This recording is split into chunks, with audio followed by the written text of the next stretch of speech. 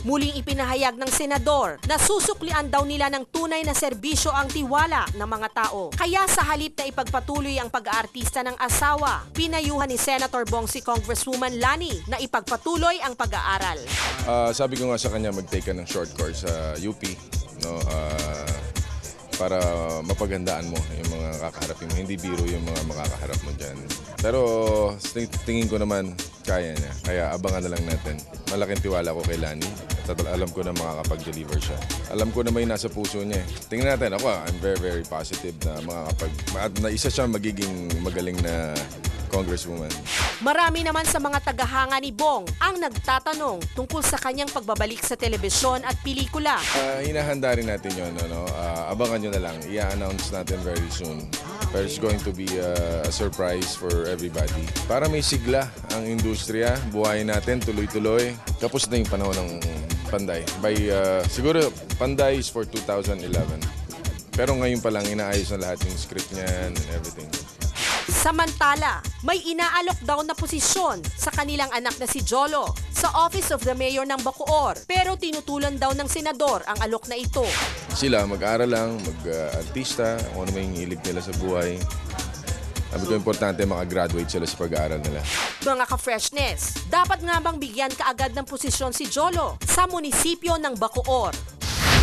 Kung ah, kapasidad ang pag-uusapan, yung bata may napatunayan na, lalo nung kampanya ng papa niya, sila ni Kuya Epe, Philip Salvador, ang kinatawan ni Senador Bong Revilla sa pag-iikot sa buong bansa. Pero hindi siguro muna. Nahihilawan pa tayo at siguro hindi naman gagawin ng mag-asawa na ibigay yon.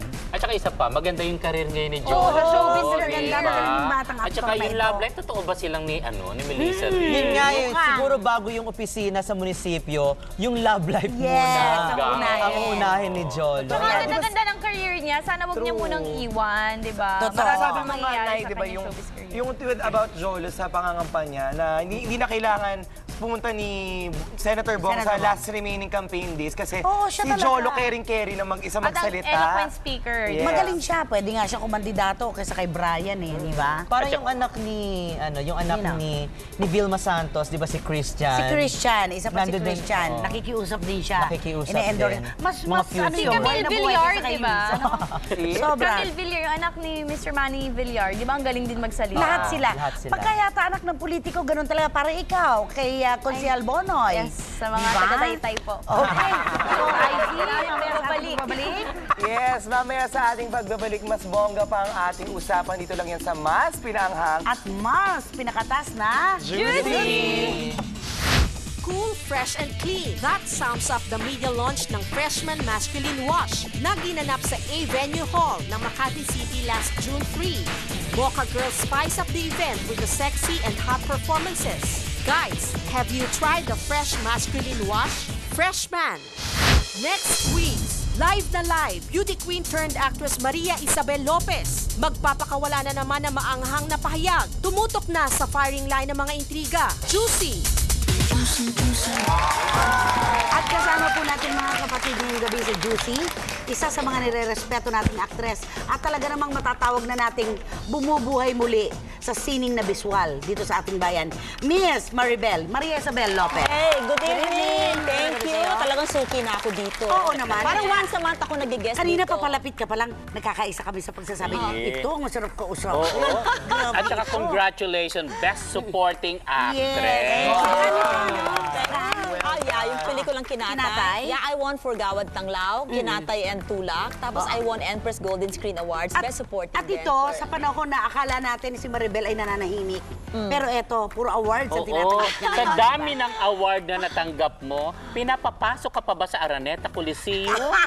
In fact, meron kaming painting exhibit sa Araneta Center mismo, sa Oh! Gateway Mall, Sining Sino Kamay. ang tanong? Oh, yes. At ang tanong, imbitado ba Imbitado. si Mrs. Araneta? Well, syempre, teritoryo niya yun. She's most welcome naman as long as she appreciates the paintings of the Film Artist Group. Ano, for the third time, ang Film Artist Group ay magkakaroon ng painting exhibit. It's called the Artist as Artist Part 3. Juicy in cooperation with the Character Building Foundation. Yung Film Artist Group, binuo namin yan mga directors, filmmakers, movie actors who are into visual arts. Merong photography, merong tama. sculpture, merong painting. So first ito, first, first, first exhibit This is ito. already part 3. Ah, part Nakagawa three. na kami, 2001 pa yung grupo namin. Ah, bongga. Ganda, pumunta ano? sila dyan, ah, pag may nagustuhan sila, pwedeng bilhin agad. Pwede nilang bilhin yung artwork, tapos a certain percentage will go to the beneficiary, yung Character Building Foundation.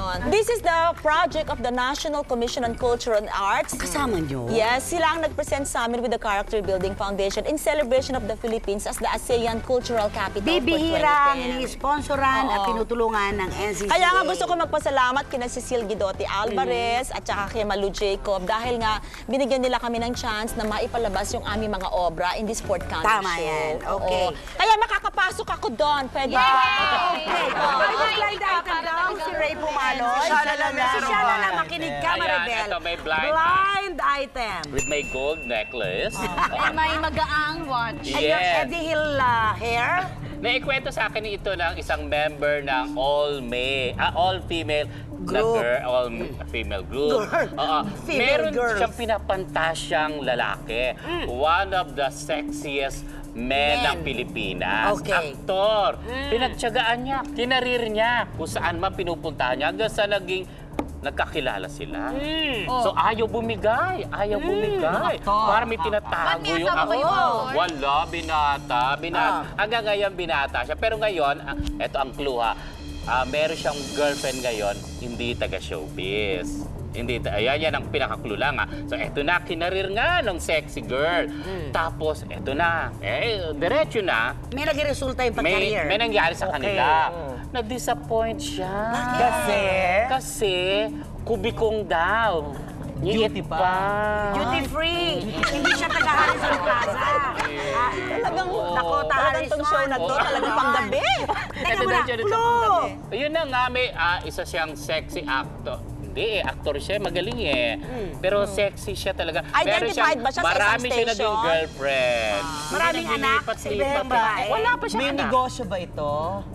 Nagbi-business ba? Taga saan? Siguro, dos, tigat dos siguro. ba siya? Bulong mo na lang Hindi. siya na, bulong mo please. Taga, taga Siete. Ito yung aktor na kapag umaalis ang girlfriend niya dating sexy star papuntang Amerika ay nagbibigay ng listahan na mahabang mahaba. Nakalagay, three pieces Lacoste, green, white, chuchu.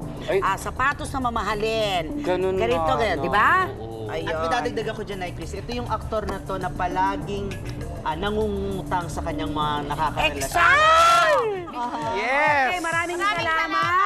Magpa-plugin naman ako.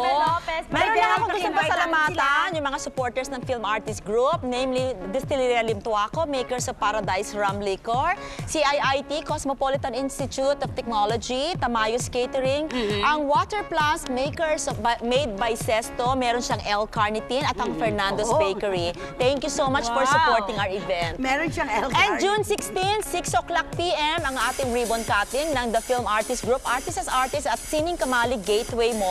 Magkita-kita tayo doon. At pasalamatan daw natin si Direk Heidi. Direct Heidi Season, ang Oh, sponsor Direct Heidi ng Season. Yes, siya ang ano, Talaga. she's the the yun Magandang gabi ng po. ng Character Building Foundation. Okay, and I see. Yes. Ang ganda ng follow mo, ha? Ang ganda-ganda. I love my polo so much. Ayan. Mag-email pa rin kayo sa amin sa juicy underscore tv5 at yahoo.com.ph and type ka freshness for our. Facebook account. Thank you so Ah, much, ako. Posh Nails. Uh, fresh look, Steve Marcan. Techno Marine, salamat na marami. A1 Driving School, James Cooper. Thank you. Shapeswear, Techno Marine, maraming maraming salamat. And for more juicy updates, mag-text lamang kayo ng juicy underscore on at isend ito sa 2256. Maraming maraming salamat. At ang mga doktor ni Ray Pumaloy. Maraming salamat, Dr. James Joaquino, Dr. Jonathan Dizon, Dr. Ray Castillo, Paul de Handkerchief of Ronald Pineda, and Eric Galos, Neats and Joyce of Fedora Salon, and Boy Nustaki. Ito, ang dami na. Ang dami. Ay, at ang Siyempre. Pep Salon sa Sergeant Esguerra, Rene Raymond, Peps and everybody. Estilo Salon at yung fans ko. marami ka talagang and fans, Mrs. Dennis. Mendoza at si James Bartolome. Siya lang naman ang theater manager ng Glorieta, Trinoma at na namin, James. Bartolome. Sosyal ang ating Sosyal. listener. Di ba? Oo. Okay. Sa mga kapatid, maraming maraming salamat po sa pagsama sa amin ngayong napakainit na Wednesday night.